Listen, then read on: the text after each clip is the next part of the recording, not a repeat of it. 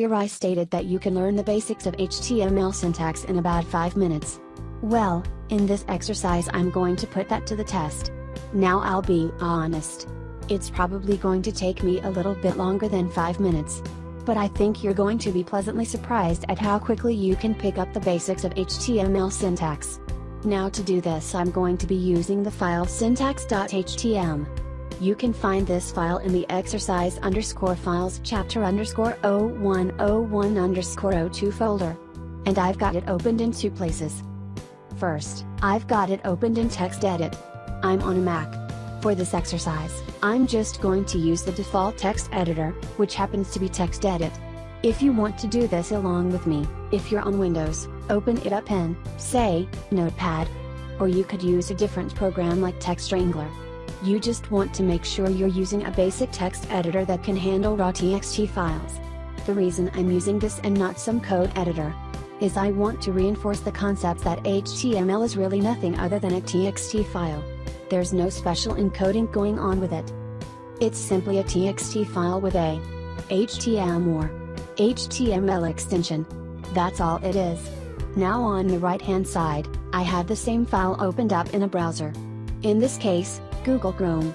So, when I make an edit to the file, I can come over here and refresh the page. And you can see what that edit does to it as far as rendering in the browser gets. So let's talk about the basics of HTML syntax. Now, remember that HTML stands for Hypertext Markup Language. That means that we use tags to mark up content on the page to identify it. You can see this text, for example as a paragraph. Well, it's not a paragraph yet, and in order to make it one, we're going to have to mark it up using a paragraph tag. So, to do that I'm going to go right over here to the very front of the document and I'm just going to open up a paragraph tag. To do that I'm going to use the left angle bracket. Followed by the character that represents the element I want, P for paragraph. And then, close the opening tag with the right angle bracket. So, that is the makeup, or the syntax if you will, of an opening tag. You've got the left angle bracket, you've got the character, or characters, that represent that particular element. In this case, P for paragraph, and then, the right angle bracket. Now everything a browser is basically going to look at this. And it's going to know that everything after this is contained within that paragraph. Most elements are going to have both an opening and a closing tag. When your browser or user agent is looking at this, it says OK, this is the beginning of a paragraph but you also need to tell it where the paragraph ends. So in this case I'm going to go to the very end of the paragraph and I'm going to do what's known as a closing tag.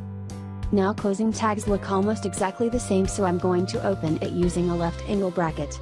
But then I'm going to do a forward slash followed by the P followed by the right angle bracket. So they're almost exactly the same. The only difference from the opening and closing tag is that forward slash. And it always precedes the character that it identifies. So essentially we have an opening paragraph tag right here. We have a closing paragraph tag. And then we have the contents of the tag right in the middle. And then the entire thing is considered a paragraph element. So when you hear HTML referred to as elements, basically, elements refer to the tags and their contents, whereas this is simply the tag itself. But in addition to the tags, each of the tags can also have certain attributes. Some attributes are specific to the elements, whereas other attributes are what we call global attributes. Now the paragraph tag doesn't really have any specific attributes to it, but it does have some global ones that we could apply. If I wanted to apply an attribute to the paragraph tag, I would go under the opening tag, and right after the character, I would open up a space. And then I would type in the attribute that I wanted. Paragraphs don't have that many, so let's just pick language so I'm going to type in lang. So of course you'll have to learn the attributes themselves. Then you type in an equals to assign a value to it, and then in quotation marks you give it a value. In this case I'm going to say in for English. So here I'm telling the user agent that the contents of this paragraph are in English. Now, don't panic. You don't have to do this for every element. It's just kind of a nice thing to do if this paragraph had Spanish in it. I could say language equals Spanish and then spell checkers would know. To either check it using a Spanish dictionary or ignore it for English spellings. What we're looking at is the syntax of the attributes. So you have the name of the attribute. Then you have an equals sign, which is basically an assignment operator. and then you have the value. And the value is always going to be contained within quotation marks. Now there is basically two types of attributes. There is informative, which is this in giving extra information about the element and there is functional. So, for something like a link which is done using an anchor element, there is an attribute called href. And the href attribute tell the browser where to go when the link is clicked. So, some attributes are really important and functional. Whereas other attributes are merely just giving the browser or user agent a little bit more information about that element. I don't need this attribute, so I'm going to get rid of it.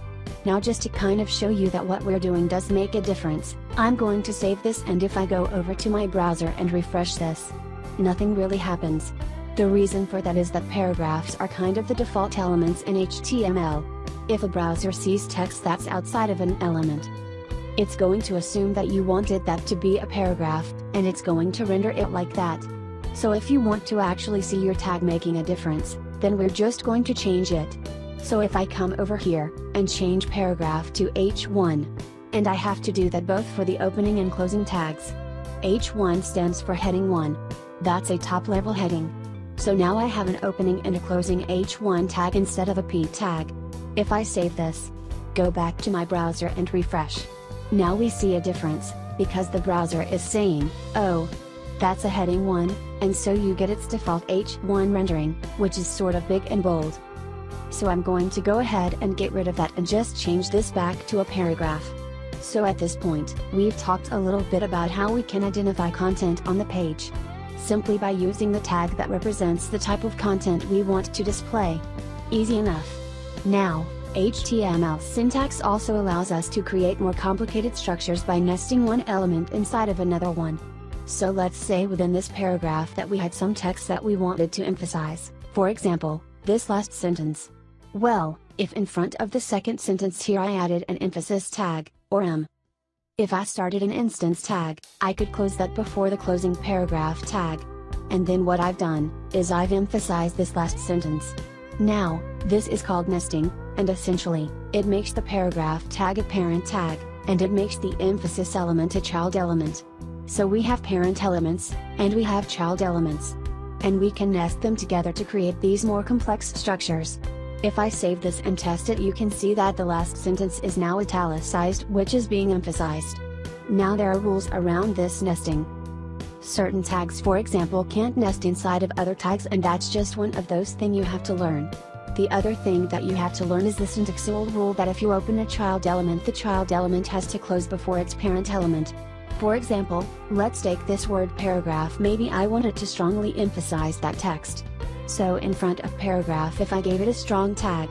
And you can see that the characters that are used to identify the tags are not always single characters. In fact it's very rare that they are single characters. In this case strong for a strong tag. Well if I wanted to close that I couldn't come out here. And close the strong tag. This wouldn't work. But this would be invalid code. So essentially, if I wanted to close the strong tag, because the strong tag was inside the emphasis tag, and also inside the paragraph tag. It would have to close before the emphasis tag. So I would need to move this right here. In order to